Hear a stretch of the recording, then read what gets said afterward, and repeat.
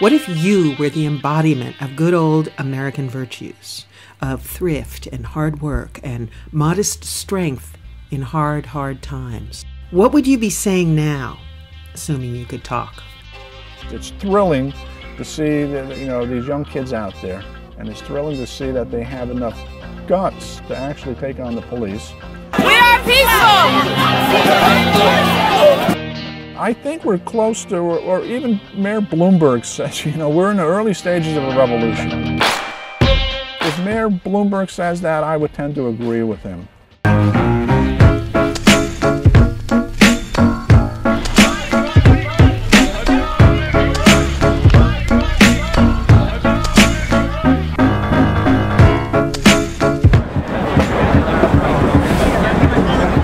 Was kind of surprised with September 17th. I was reading about it. So, oh, okay, here's another group trying. You know, I wish them the best. And all of a sudden, it just caught fire. And uh, they're still going like the hammers of hell. It's November 17th. It's the big two-month anniversary of uh, the occupation of Wall Street. You know, during the winter, we were having hard months, and you know, we kind of subsided and now suddenly everything's exploding. Everybody's interested, and, and the jobless uh, have found a new life, a new lease on life with this movement.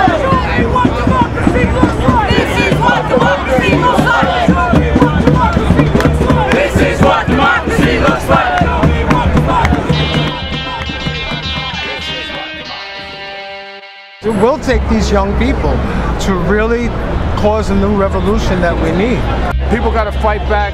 They got to get the politicians in order. There's a lot of robbery and bribery going on at the top of the levels. They got to clean the house like a colonectomy.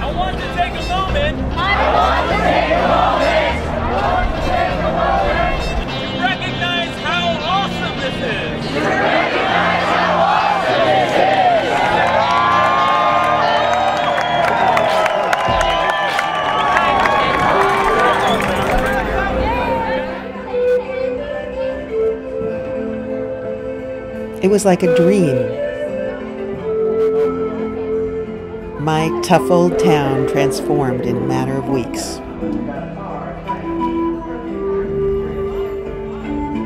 Suddenly, love and revolution were everywhere, even on the subway. And we welcome, and we welcome NYPD's finest, NYPD's finest. to keep peace on our trains. To keep peace on our trains. Greetings, officer. Greetings, officer. It felt like the whole city was in love, in love with Occupy Wall Street and sudden hope for change. We met at a soup kitchen. Um, it was almost a year ago, and uh, we were both standing outside St. James at 73rd and Madison Avenue, and they didn't have enough room for us. Oh yeah, we're standing at the church waiting for the lady to come up and say sorry. I was like, oh my, you gotta be kidding me. I'm a pipe fitter, yes, but because of the current uh, downward trend in building in New York City, I've been finding it very difficult to find employment. How's your morale? Morale is difficult some days. Some days it's good, some days it's bad. You can't feel sorry for yourself. And if you feel sorry for yourself, this entire system, they'll just eat you. They still you you can't let them suck the life out of you. And you just see so many people that have just totally given up. And that's the part that's, that's so terrible about this. That they don't even, they're not even looking anymore. A lot of us are in those dire straits right now. You can't survive it. I have to confess, I finally got a part, a temporary job, and it's been three and a half years since I worked, so I'm kind of like adjusting. It feels so good to be tired from working. I'm actually doing audits for the Board of Education. They treat me well, so I'm like, thank you, God.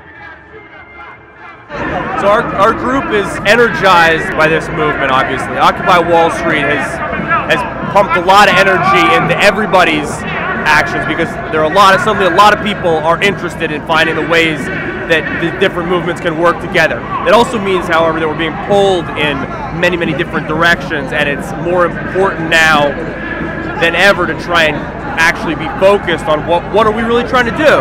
Let's say we could do anything we wanted to do. Well, what do we want to do? What is our objective? 99ers with the 99%. Anything that's associated with our working group, that's paramount. I go to Wall Street, Occupy Wall Street every day. I see everything. I don't need some extraneous, oh, I'm meeting at 1.30, I'm meeting at 2.30, I'll be there at 3 o'clock. I can't make it. I got to do this. I sprint. I don't need that shit. I want to go forward. We'd like to see a working group developed that deals with the biggest issue that our country faces right now. I want to see our numbers grow, period. I want to see some things like public projects where we can go to work in construction, build another Hoover Dam or something. I mean, Jersey boys over there stopped the tunnels. There was 8,000 jobs that was stopped right here.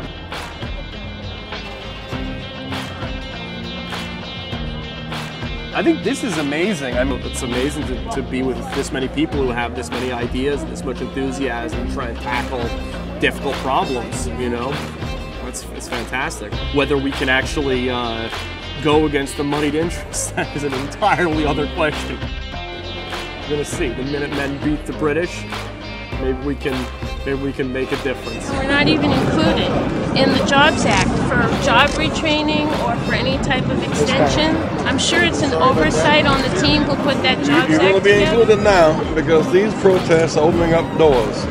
We're going to get results because the people are speaking, and if they speak loudly and clearly, they will get a response. And thank you for holding on, okay? Like fresh air to me. Should Occupy Wall Street demand jobs for all? Absolutely, you betcha. Only if Occupy Wall Street wants to be relevant to the needs of the masses of people. Because while we talk about the Great Recession elsewhere in America, the real depression exists in black and brown communities across this country.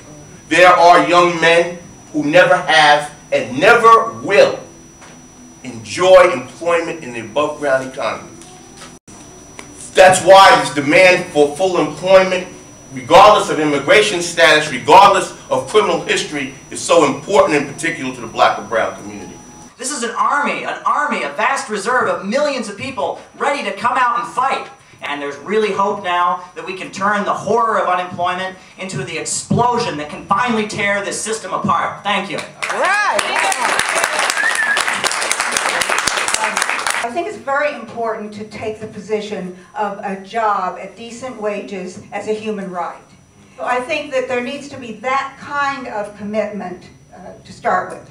Uh, then also, I think that we need to talk about how effective and efficient direct job creation is. This is a great opportunity to have our voices heard because, along with all my other American 99ers, I truly believe that having a massive public works services program is something amazing. So, should Occupy Wall Street demand jobs for all? That's a rhetorical question.